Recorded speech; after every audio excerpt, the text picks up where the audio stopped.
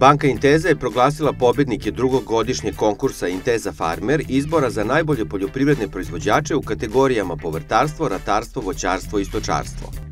Ove godine smo imali preko 230 kandidata u sve četiri kategorije i malte ne udvostručili broj poljoprivrednika koji su bili zainteresovani da učestvuju u ovoj vrlo, vrlo, vrlo interesantnoj akciji Banka Inteza. Subotički ogran Banke Inteza, ovaj, sa kim imamo dobru saradnju, su dali tu neke naznake da bi se to moglo nešto ovaj, uraditi, tako da uz pomoć njih ovaj, smo eto, odlučili da konkurišemo za farmera godine.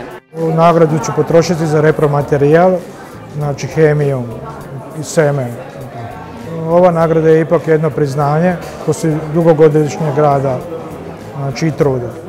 Banka Inteza je u 2014. godini kao jedne od najaktivnijih banaka participirala u vladinom programu subvencionisanog kreditiranja poljoprivrednika, odobrši oko 1250 pozemica, a ove godine je nastavljena saradnja sa Garancijskim fondom AP Vojvodine po nekoliko kreditnih aranžmana, dok je sa opštinama i gradovima širom Srbije ugovoreno 20 specijalnih kreditnih linija. To nam je lepa sugestija sa strane banke. Ne gledamo sad finansijski deo, nego samo da oni su baš izašli nešto bolje da dobijemo tako nešto što možemo iskoristiti ili, ili neko pare. Znači, ipak tu će, se pamtiti i znati da to je došlo iz Inteze, to i tog doba i to je lepa sugestija.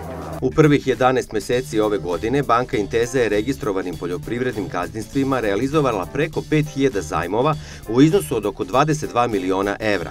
Posmatrano od 2008. godine, od kada Banka Inteza finansira ovaj segment klijenata, plasirano je gotovo 28.000 kredita u ukupnom iznosu od oko 150 miliona evra.